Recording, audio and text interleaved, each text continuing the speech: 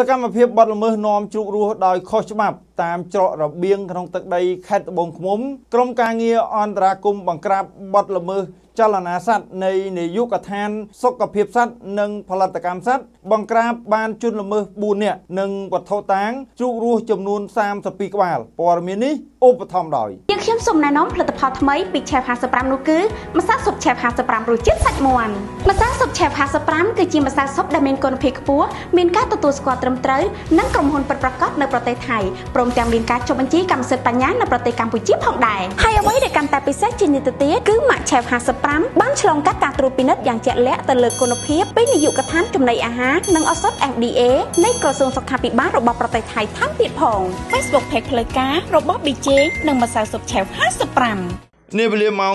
12:30នាទីថ្ងៃទី29ខែឧសភាឆ្នាំ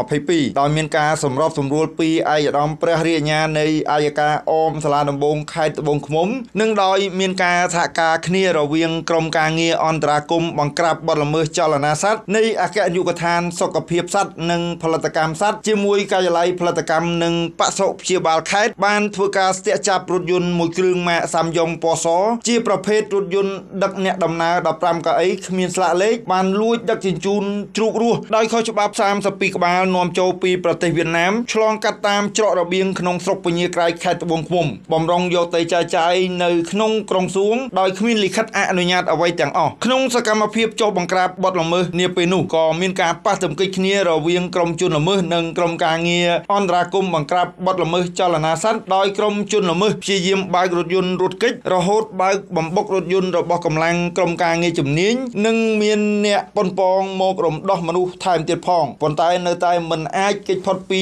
សំណាញ់ច្បាប់បាននោះទេដោយបានធ្វើការខត់ខ្លួនជនល្មើសចំនួន4នាក់និងវត្ថុតាងជ្រូករស់ចំនួន32ក្បាលបច្ចុប្បន្នជនល្មើសទាំង4រូបត្រូវបានមន្ត្រីជំនាញនាំយកទៅសាកសួរនិងអនុវត្តតាមនីតិវិធីដោយឡែកជ្រូករស់ទាំងនោះបានប្រគល់ឲ្យមន្ត្រីជំនាញយកទៅរក្សាទុកនិងធ្វើចតល័យស័កនៅមន្ទីរកសិកម្មរុក្ខាប្រមាញ់និងនេសាទខេត្តត្បូងឃ្មុំដើម្បីចាត់វិធានការតាមផ្លូវច្បាប់យើងខ្ញុំសូមណែនាំផលិតផលថ្មីពី Chef 55នោះគឺម្សៅស៊ុប Chef 55រសជាតិសាច់មាន់ម្សៅស៊ុប Chef 55គឺជាម្សៅស៊ុបដែលមានគុណភាពខ្ពស់មានការទទួលស្គាល់ត្រឹមត្រូវនិងក្រុមហ៊ុនពិតប្រាកដនៅប្រទេសថៃព្រមទាំងមានការចុះបញ្ជីកម្មសិទ្ធិបញ្ញានៅប្រទេសកម្ពុជាផងដែរហើយអ្វីដែលកាន់តែពិសេសជាងនេះទៅទៀតគឺម៉ាក់ Chef 55បានឆ្លងកាត់ការត្រួតពិនិត្យយ៉ាងជាក់លាក់ទៅលើគុណភាពពីនាយកដ្ឋានចំណីអាហារនិងឱសថ FDA នៃក្រសួងសុខាភិបាលរបស់ប្រទេសថៃថែមទៀតផង Facebook Page ផ្លូវការរបស់ BJ និងម្សៅស៊ុបឆេវ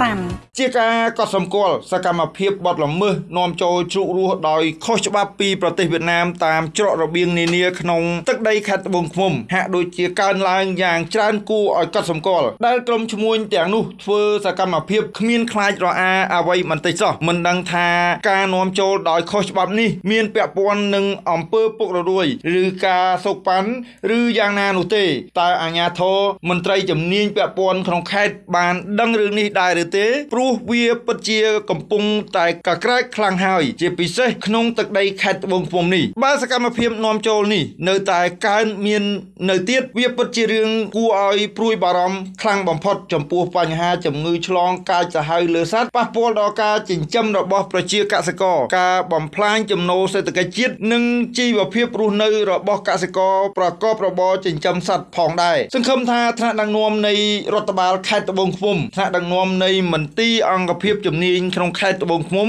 នឹងមិនបន្តឲ្យកើតមានសកម្មភាពដ៏កក្លឿននេះតទៅទៀតទេ ហើយក៏មិនជឿថាការនាំចូលជ្រូករស់ដោយខុសច្បាប់និងដោយមិនបើកចំហនោះទេ បែជាគ្មានមន្ត្រីណាមួយមើលឃើញសោះឡើយប្រជាជនសង្ឃឹមលើមន្ត្រី បើមន្ត្រីមិនជួយរះតែជួយអ្នកណា អនុសាសន៍ដ៏ខ្ពង់ខ្ពស់របស់សម្ដេចតេជោហ៊ុនសែននាយករដ្ឋមន្ត្រីនៃប្រជាណាចក្រកម្ពុជា មន្ត្រីជាអ្នកបម្រើរាជមិនមែនជាចៅវាយរបស់រាជទេប្រការនេះសង្ឃឹមថាថ្នាក់ដឹកនាំខេត្តថ្នាក់ដឹកនាំមន្ទីរអង្គភាពជំនាញរបស់ខេត្តត្បូងឃ្មុំនឹងប្រើកណ្ដាប់ដៃដែកបង្ក្រាបនៅរាល់បទល្មើសតូចធំ ជាពិសេសសកម្មភាពបទល្មើសការដឹកជញ្ជូនជ្រូករស់ដោយខុសច្បាប់ពីប្រទេសវៀតណាមដែលកំពុងតែកើតមានហូរហែសពថ្ងៃដោយមិនប្រើវិធានការច្បាប់ខ្លាំងបំផុតយើងខ្ញុំសូមណែនាំផលិតផលថ្មីពី Chef Chef 55នោះគឺម្សៅស៊ុប Chef 55រសជាតិសាច់មាន់ម្សៅស៊ុប Chef 55គឺជាម្សៅស៊ុបដែលមានគុណភាពខ្ពស់